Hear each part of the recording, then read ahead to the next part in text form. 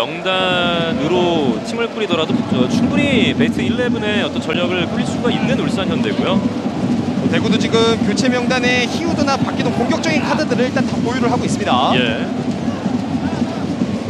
결국 그 긴 시즌을 끌고 가려면 선수 뎁스가 또 얼마나 중요한지를 울산을 보면 느낄 수가 있는 것 같습니다.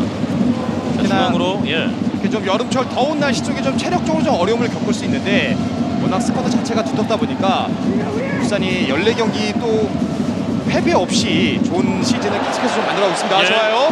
에드가. 이어받았고 에드가! 슈팅 높게 떴습니다. 에드가 상당히 아쉬워하고 있는 에드가 실바 선수입니다.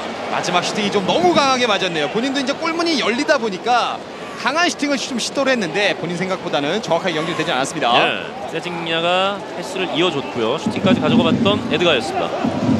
슈팅 시에 좀 몸이 뒤로 넘어지면 안 되는데 몸 자체가 이제 뒤로 좀 누워지다 보니까 닌발이 높게 뜨면서 슈팅이 골문이로 향했습니다. 예. 밝은 표정을 지어 보이고 있는 김승규 선수고요.